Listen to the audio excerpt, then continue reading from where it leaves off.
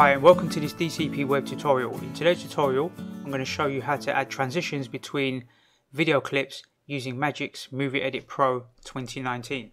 So let's go ahead and open up the software. And on my desktop I've got this folder with these few um, video clips inside. So we'll just go ahead and we'll set it at 1920 by 1080 at 29 frames a second and the first thing I'll do is drag in this intro. So normally when you watch my YouTube videos you'll see this intro here. It has some audio so I can easily mute the audio by just dragging down here. I'm just going to zoom in a little bit. And the, the duration is fine. So the next thing I want to do is drag in a video clip. So I'm going to drag this video clip in.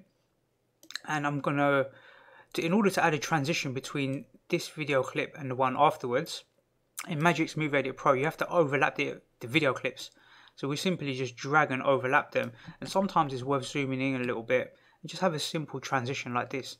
So, so if I were to play it now, it would just fade between the two of them like this. Let's stretch it out a little bit longer. So here you see a simple fade between the two. If you go up to the effects here, and then go to template, sorry, here, then you see all these different types of transitions there's like 3D ones, there's all different types of shapes and transitions. I like to use some of like the more basic ones rather than, you know, anything too fancy like 3D stuff. So let's take, uh, for example, this, this uh, circle from left. All I do is just click on it. I can actually click play here and it will show me what it looks like from A to B. So imagine this is video clip A and this will be video clip B. I can simply just drag and drop it onto this transition here. Then when I click play, it will fade across like that. That's pretty fast. So if we drag it across a bit further so the transition is longer, then we can see it doing that a bit slower. So it's up to you. Normally I leave them quite fast, something like this. So let's take a look at some other transitions. I'll zoom out a little bit, drag this next video clip in. This one's a little bit longer. It doesn't matter. Normally I leave the transition around the same sort of duration on each one. Um, then we'll pick a different one. Let's take circle for example. We'll drag that one here. Then we can click play and you've got this spinning dragon and then it will show the circle fade and then you see this next example. So let's do a few more because I've got a few video clips in here. Let's uh, in fact we've got three video clips so we use let's do this one the collision one. So we can drag that anywhere on the timeline and just reposition it at the top here and we drag that over. Similar sort of duration and maybe we'll look for something a bit different.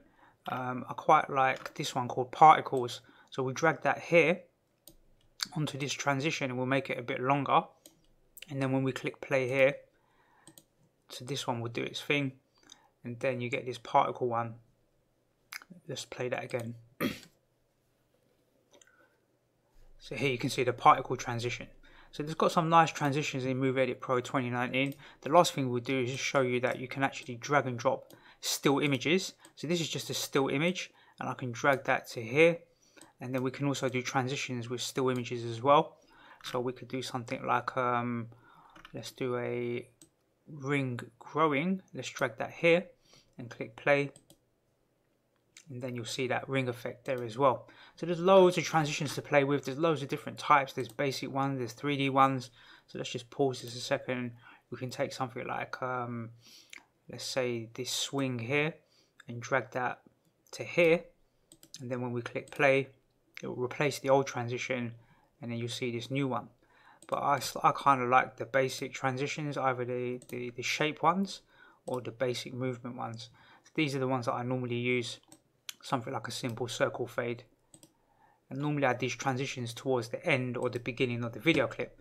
So that's pretty much it. That's how you go about adding transitions between movie clips or, or video clips within Magix Movie Edit Pro 2019 so let's minimize this we'll close down this folder. That's the end of this tutorial and I look forward to seeing you in the next DCP web tutorial.